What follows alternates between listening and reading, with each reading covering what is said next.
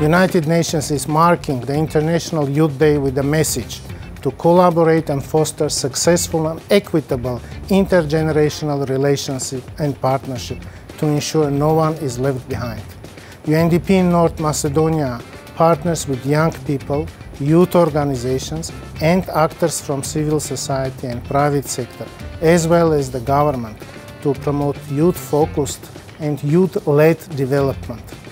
In UNDP, the way we engage young people today will determine the prospects for sustainable development, growth and inclusive prosperity in the years to come. We believe that only if young people are the agents of change standing on the front lines, we will succeed to build a better future for all. On that path, solidarity across generations is key for sustainable development. Let's together send the message across that all generations must be full partners in meeting sustainable development goals. По повод Меѓународниот ден на младите сакам да упатам една општа порака.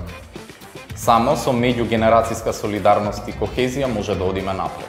Светот на еднакви можности може да го градиме сите за сите. Младите го имаат еланот, слободата и флексибилноста, а повозрастните го имаат искуството. Сите ние треба да ја негуваме страста и желбата за инклузивна и подобра средина за живење.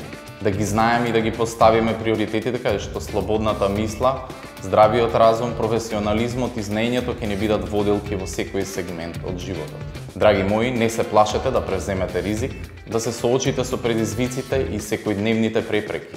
Заедно да создадеме подобар свет за сите генерации. Зависи и од мене и од тебе. Само заедно, со вклученост на сите, можеме да обезбедиме подобра иднина за сите нас. Токму вие, хероите на сегашноста и надежта на утрешнината, имате капацитет за новото, подобро утре. Интегритетот, доброто владение, доживотното учење, професионализмот се принципите кои што се потребни да ги имаме сите за да развиваме добро, здраво и демократско општество. На денешниот меѓународен ден на младите ве повикувам. Ајде заедно да работиме на промени. Ајде заедно да најдеме решение на сите горливи прашања со кои се соочувате. Ајде заедно да одиме напред со позитивни вредности и квалитети. Të rinjt janë forca lëvizse e qendrës rinore për resursa ICAN. Ne punojmë shumë me të rinj. Punojmë me të rinj të cilët gërtojmë punë. Punojmë me të rinj që kanë startupet e tyre. Punojmë me të rinj të cilët kanë ide për biznesi dhe me ndihmën tonë e zhvillojnë atë ide më tej. Për ne është shumë i rëndësishëm edhe bashkëpunimi me institucione shtetërore, me komuna nga rajoni, me ekspert të ndryshëm me përvojë më të madhe, si dhe me biznesin privat, por është shumë i rëndësishëm edhe rjetëzimi i këtyre me të rinj cilët frekuentojnë qendrën tonë. Се обреќам кон младите, нашите идни генерации, што значат успех, визија и прогресивност.